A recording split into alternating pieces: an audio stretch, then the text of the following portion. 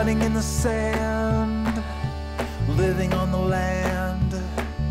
The salty breeze was in our eyes. We stood beneath the dragonflies and danced. All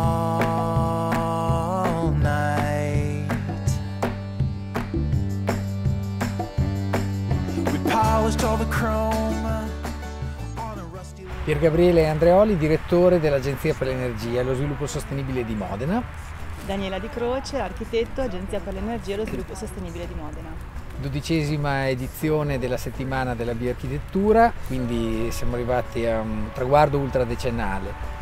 E questa settimana, visto che siamo arrivati all'ultimo giorno, è andata molto bene. Abbiamo avuto una grande affluenza di, di pubblico eh, in questa edizione 2015, non solo locale ma anche dalla provincia, dalla regione e eh, da tutta Italia grazie al premio della sostenibilità di quest'anno. Gli argomenti trattati sono stati come sempre i, i, più vari, abbiamo fatto una sessione dedicata ai trasporti, quindi alla mobilità elettrica, un campo diciamo abbastanza recente per noi di applicazione e mh, abbiamo approfondito tutti quelli che sono i nostri temi eh, normali di lavoro, quindi eh, gli edifici, il risparmio energetico sia per il pubblico che per il privato. È stata una settimana molto partecipata, quindi eh, la rassegna è stata a tutto tondo, quindi 360 gradi, tutte le tematiche della bioarchitettura, dell'energia e della domotica. E, mh, per quanto riguarda le varie sessioni,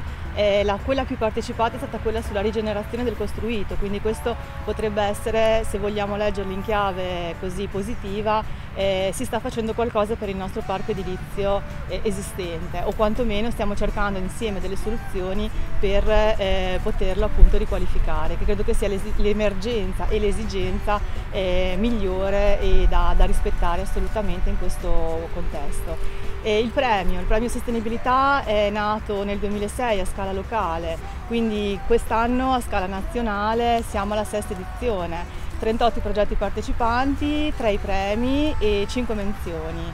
Ehm, c'è stato questo filo conduttore di progetti meritevoli eh, premiati anche nella zona del sisma, quindi siamo comunque qua vicino e quest'anno ci siamo stupiti perché la qualità dei contenuti è effettivamente molto molto meritevole rispetto agli altri anni, quindi anche questo è un segnale positivo che vogliamo trasmettere per eh, fare in modo che, come appunto ha detto la presidentessa della Fondazione Italiana Bioarchitettura dentro una delle nostre sessioni, Vifrida Mitterrand, che eh, la bioarchitettura una volta era necessario questo appellativo al termine architettura. Noi vogliamo fare in modo che d'ora in poi si chiami architettura una buona eh, architettura sostenibile senza bisogno di specificarla e comunque distinguerla dall'architettura normale. Quindi questo qua era nostra, il nostro obiettivo direi che per il nostro sì, piccolo l'abbiamo raggiunto almeno per quest'anno quindi, quindi vi aspettiamo alla settimana 2016.